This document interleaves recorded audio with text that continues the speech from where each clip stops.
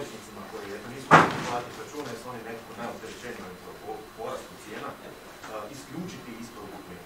Nema tu zapravo, znači na tržištu postoje različiti opskrbljivači, svako može promijeniti opskrbljivača i radi se samo onda o drugačijim cijenama i drugačijim uvjetima. Tako da u tom smislu u studenom je, je ponuđeno znači, da se raskinu svim poslovnim korisnicima da se raskinu ti ugovori, a budući da gradska plinara Zagreb opskrba nije mogla više po tim cijenama koje su ugovorene zbog ovog divljenja jamčiti tu uslugu, neki od poslovnih korisnika su to napravili i uzeli su druge, raskinuli su bez penala naravno te ugovore i uzeli su druge opskrbljivače koji su imali onda jeftinije cijene.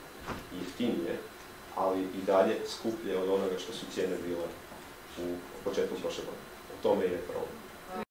Da, radi se socijalnoj, radi se socijalnoj zapravo, ajme reći, ustanovi koja pruži socijalnu uslugu besplatnih obroka za najpotrebitije građane, koja je već financirana iz gradskog proračuna u iznosu od 700.000 kuna godišnje i s obzirom na tu situaciju je naša odgovornost ne plinara, jer jedna stvar je poslovna znači, ono, logika i, i na neki način uh, održivost poslovanja gradskih poduzeća, druga je logika grada Zagreba.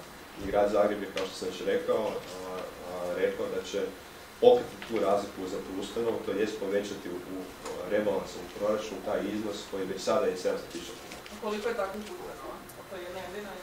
Pa ovaj, mislim da se svi možemo složiti da je puška kuhinja doista ono, da je, da je prioritet u smislu da još da u ovakvoj krizi energenata dođe do bilo kakvih problema da puška kuhinja ne može funkcionirati, mislim da je to nešto što ne dopustio da se dogodi u.